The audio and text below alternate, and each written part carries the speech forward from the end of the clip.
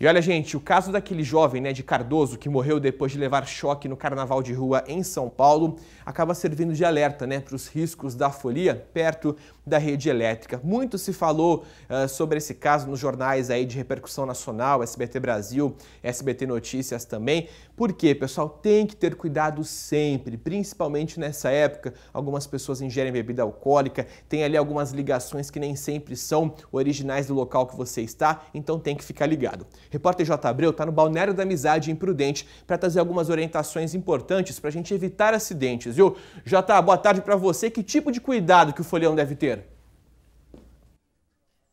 Boa tarde para você também, Casa Grande, a todos que nos acompanham aqui no SBT Interior. A gente está aqui, o balneário fica entre Presidente Prudente e Álvares Machado e aqui está montada essa estrutura porque vai acontecer, vão acontecer aqui os desfiles das escolas de samba, dos blocos e também de trio elétrico. E é importante porque essa aqui é uma estrutura provisória. A gente vai conversar com quem entende, é ele que vai tirar as dúvidas. É o Vinícius Mota, que é engenheiro de segurança é, elétrica aqui. Vinícius, para montar isso aqui precisa de toda uma segurança, mas quem vem precisa ficar atento também com as instalações elétricas do local, né? Boa tarde. Boa tarde, não tem dúvida. A, a, festa começa pela organização do evento, do palco e das arquibancadas.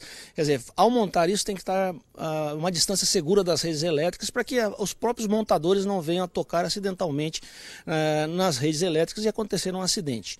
Os foliões também devem estar atentos. Evidentemente que uma obra, um serviço desse daqui, ela requer uma responsabilidade responsabilidade técnica, que garanta a eletrificação do palco aqui, com luminárias e tudo mais, para que nenhum é, folião possa tomar um choque por um fio desencapado. Então, Mas é bom dar uma olhada bem. É, né? bom, é bom dar uma olhada, estar atento a isso, inclusive na onde você vai é, participar, se é uma organização adequada. Nós já olhamos aqui, inclusive, está bem feitinho, e isso garante segurança do evento. Agora, o Vinícius, tem o pessoal que vai para as chácaras, vai para é, resorts, vai para esses outros festas particulares. Às vezes também tem algumas ligações feitas provisoriamente.